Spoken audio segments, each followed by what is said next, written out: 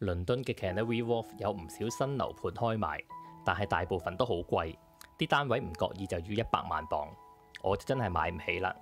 而我都唔想住喺周圍都係高樓大廈嘅地方。不過可能剛剛由香港過嚟定居嘅朋友會認為嗰度嘅環境比較容易適應。